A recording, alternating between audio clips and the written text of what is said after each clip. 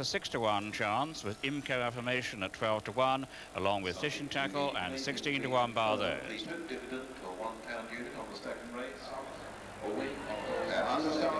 Owner orders and they break away and uh, Shadowland was a little bit slowly into its stride and uh, Bravefoot taking quite a keen hold but it's Capital Bond now that comes to take it up. Capital Bond the leader, the inheritance running next to the rail and uh, this stage Bravefoot is settled back in about uh, fourth place. So as they race through the first two furlongs of this Strutt & Parker Maiden Stakes Capital Bond on the outside of uh, Bravefoot, and then just in behind these comes IMCO inf Information. Shadowland is one of the back markers, and they race down towards the four.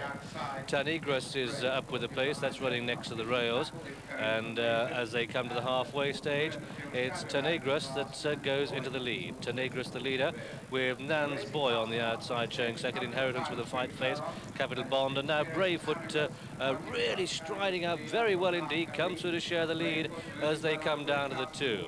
And it's Bravefoot on the outside of Tanigras and La Parite is in the leading three as well. A gap of three lengths then to Inheritance back in uh, fourth place with Sea Level staying on. They meet Rising Ground and Bravefoot uh, meets it well. He goes on by a length and a half, but Tanigras is running next to the rails and keeping on well.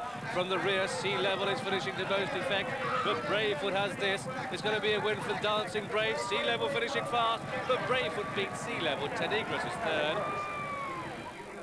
Well, you can certainly...